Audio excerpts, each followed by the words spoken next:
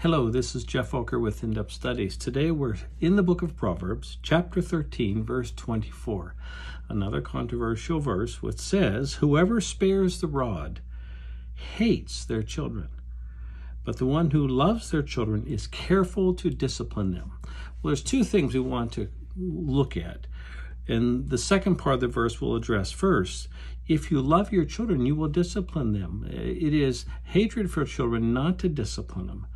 Now, we, we recognize you don't want to discipline them in anger when you lose control, but the bottom line is they need correction. They come into the world guilty of Adam's sin with a bad heart, and they need correction, just as your children. They, um, they desperately need boundaries and for you to, you know, in a kind way, stand behind these boundaries and don't give an inch. So, but the other thing that we do need to address, is, which is the first part of the verse whoever spares the rod hates their children.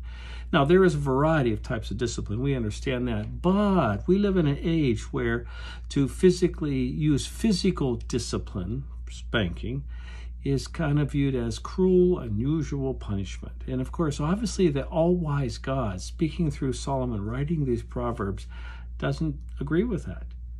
He thinks that children experiencing pain for their disobedience is not a bad thing.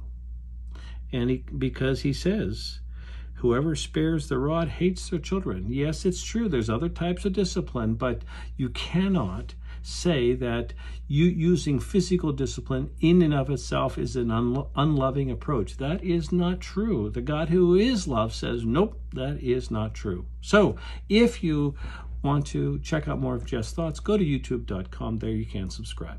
Bye bye.